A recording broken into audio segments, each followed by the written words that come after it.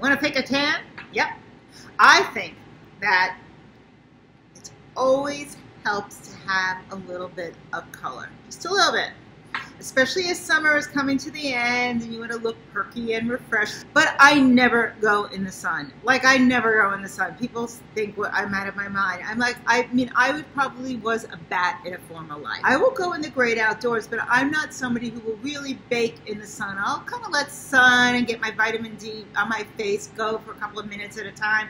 But not only is it, we all know you can get skin cancer, you can also get fine lines and wrinkles and sunspots and, uh, and who wants to look old when you can fake a tan. So if you get a little natural color from just going out about during your day, I use um, sunscreen inside both my foundation and inside my moisturizer. So I always have a little bit of sunscreen on. I go out of my way to always walk on the shady side of the street so I don't really ruin my skin. But when I do want a little bit of color, and we all need it, there's a couple of things that I swear by. One of them is just a little powdered bronzer. You know, they've come a long way since the old days. This one is from Guerlain. It's probably probably like the granddaddy of really good bronzers. Powdered bronzer. It makes it look really pretty.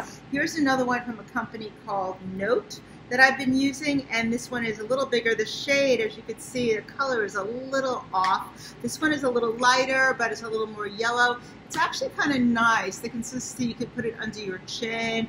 You can put a little bit on the side of your nose. You get a little contour action in it too. You can even put some on your cleavage. But it basically adds a little quick color to yourself without using regular pressed powder. Also for your legs, um, when you start looking like deathly pale, it's a couple things. I know I hate it. It's by the Cave family, but this one's actually pretty good. And then this stuff's really good too. It's also really old school. It's Sally Hansen Leg Shimmer, and it will put a nice little veil on your legs so they look a shade up. Or of course, one of the L'Oreal's are really good.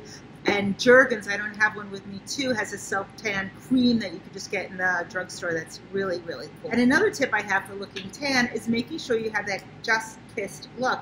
And these are some sticks from Orlane. I think I may have used them in something else.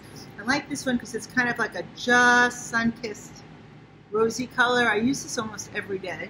It's a very light blush. And then you don't want to look too dark, so this is a really beautiful highlighter stick and it gives you that nice natural glow like you're sort of misty in the sun. And then just amp your lipstick up a little bit. This one has a little bit of a sort of a suntanny coral undertone so it keeps the go the look going and kind of outdoorsy and fresh.